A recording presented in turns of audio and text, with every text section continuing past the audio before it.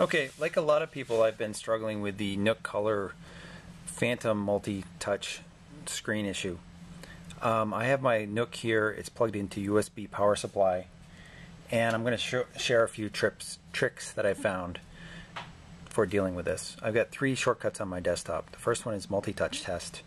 Right now I'm plugged in to the USB power supply, so you can see I've got the red and the blue.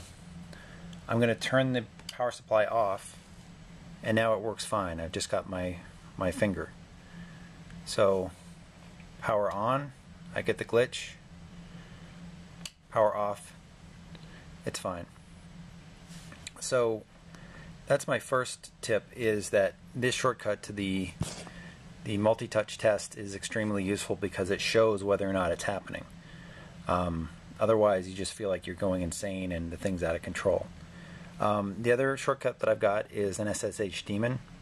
So you can drive it from the command line if you need to do powerful stuff, and God help you if you need to do keyboard stuff as root with uh, this this glitch happening. The other thing is the VNC server.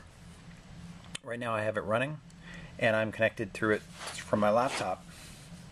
And the great thing here is that you can drive it from the keyboard. The mouse tracking and the screen updates are really slow, but I'm typing up, up, right, right. I want to go over to Reddit, I hit return to, to open it. I can use the up and down arrows, I can use return to open something, escape to exit it, and as usual Reddit is slow. So I can move through, even if the screen updates are slow, you can go pretty darn quickly from the keyboard. So I'll exit that.